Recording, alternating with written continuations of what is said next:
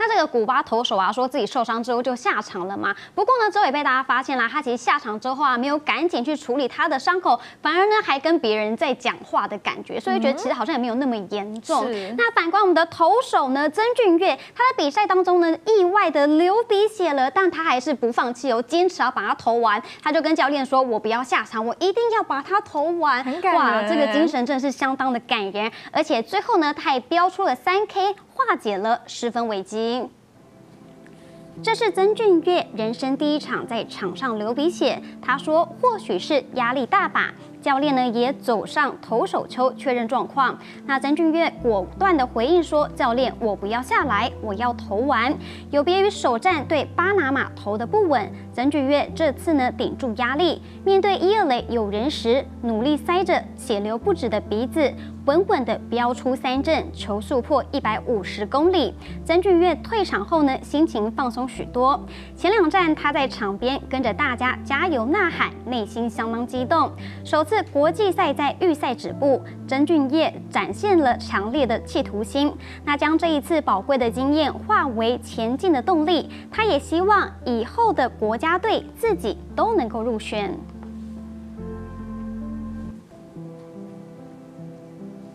在这次的比赛当中，中华队还有另外一个焦点，就是选手吴哲源。那月薪呢只有十二万元的他，却封锁了荷兰的大联盟打线，从替补球员一路成为了抗核英雄。不过呢，他的职涯生活其实都一直在跟职业对抗。新的抗核英雄诞生了，吴哲源在十一号对荷兰之战，中继四点一局只被敲一支安打，没有失分，带领中华队力克荷兰。虽然球速只有一百四十公里出头，但精准的控球让荷兰队总教练赛后直说摸不着他的球路。啊，泽远是对我来讲是一个福气啊，因伤得福啊。中华队教练团承认当初不看好替补加入的吴哲源，回顾他的职业生涯，就是在不断的对抗质疑。二零一六年的中华职棒选秀会，他直到第十轮才被中信兄弟挑走，是当年三十六位新秀中顺位最低的一个，签约金只有三十万，说明球队并没有太期待他。还有球迷酸他是替补的替补二雷手，不过吴哲源隔年在一军初登板就有好表现。这一刻进来看着进来，结果是一个三振，我连飙两 K。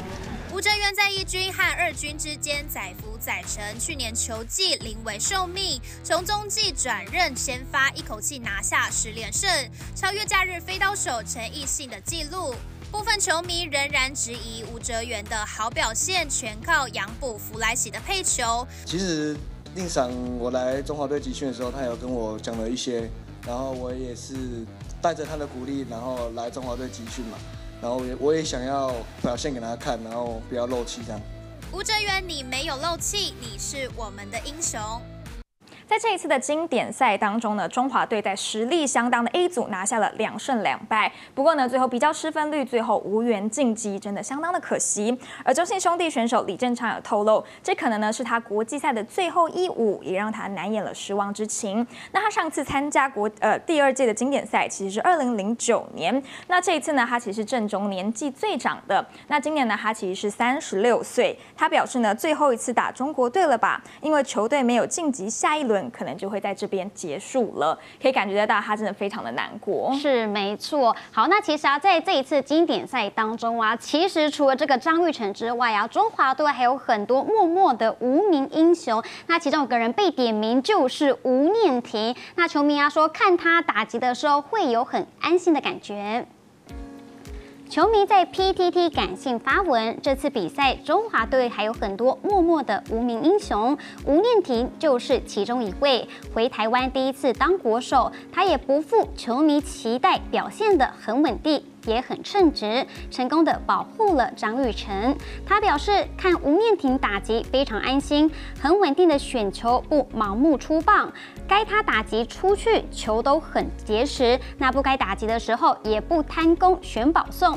球迷对他的印象就是吴富连的儿子，但他因为日职的淬炼更加成熟。下一次的国际赛也可以让他更证明自己了。那对此呢，许多乡民是纷纷直呼他超过一百分。上场呢真的给人有安心感，低调强者，沉稳内敛。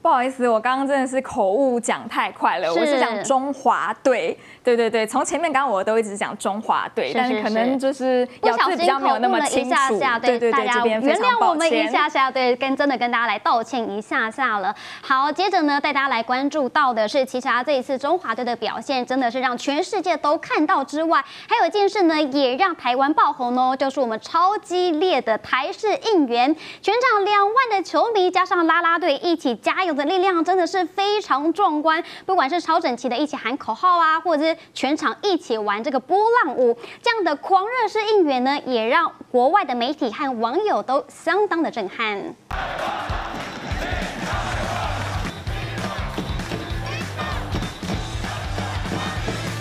球场内超热情的台式应援为中华队注入超强战力，不但让外国球员在场上难以适应，甚至成为国际讨论的场边焦点之一。富邦应援团团长 Travis 手抓栏杆前后猛甩头，堪称是摇滚式加油，这让美国棒球专栏主编转发该部影片，还感叹美国的棒球球迷是最无趣的。亲临火热现场的大联盟官网记者摩纳根也被中华队球迷给震撼，他在推特上表示，现场的感受就像是有上万人的管弦乐队在你家客厅演奏。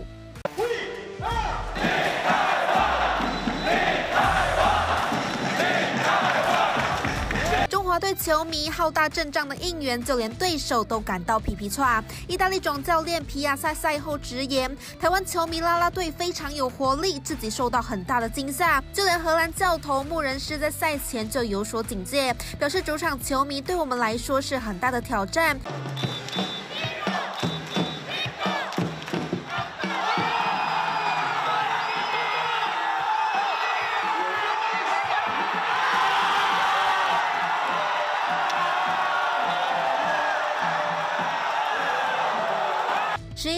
华队对上荷兰，张玉成发威追加连环炮，五比一一帮逆转。张玉成也透过粉砖道谢球迷，谢谢大家的支持与呐喊，对手吓死，我们爱死。全场近两万球迷起立敬礼，张玉成也敬礼回应，场面令人激动。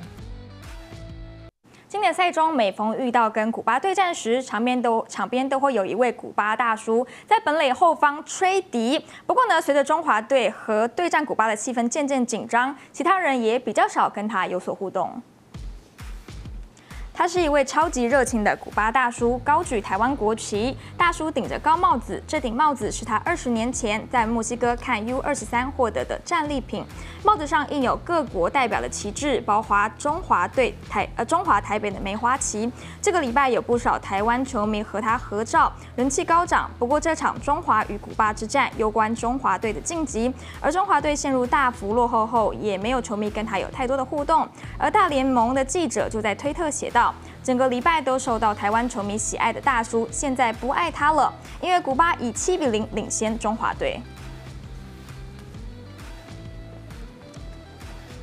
好，虽然呢，我们这个中华队无缘的抢下八强门票前进东京，不过台湾还是有一个人有晋级哦，就是意大利教练团的台湾教练许志伟。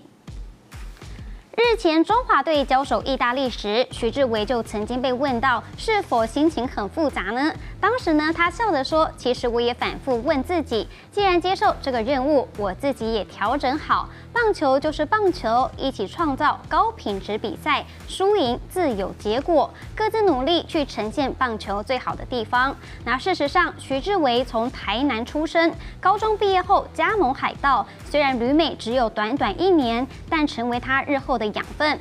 回到台湾之后，陆续担任球队的翻译等工作，并到大陆担任大联盟在中国的培训教练。他也在这个时候认识了此次经典赛的意大利总教头皮亚萨。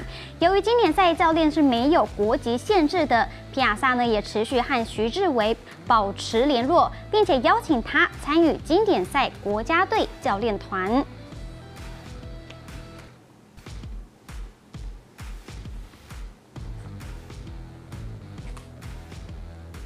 好，现在让我们来看一下经典赛的赛赛程战绩。那在 A 组的部分呢，中华队是一比七输给了古巴，是荷兰呢也是一比七输给了意大利，而古巴和呢和意大利呢也顺也确定了一起携手来晋级。嗯，那么 B 组的部分呢，南韩是以七比三胜过捷克，而日本呢是以七比一赢过了澳洲。那这一场呢，其实也是日本的四连胜，哇所以其实呢这一次真的是来势汹汹，非常的厉害。那么在 C 组的部分呢，英国是以八比十八输给了加拿大，也确定提早。提早的离开了这场赛事当中。那第一组呢是尼尼加拉瓜以一比三输给了以色列，委内瑞拉呢是以九比六赢了波多黎各。那接下来呢后续会有什么样新的发展，我们也会持续带给大家。没错，那这个啊，原先呢其实被看好说可以晋级八强的韩国队呢，在本届的经典赛的表现呢是不如预期的，如今还濒临了淘汰边缘。那其实啊，对他们来说啊，现在是有双重的压力。第一个呢，就是他们必须要靠的捷克赢澳洲，他们才有机会晋级。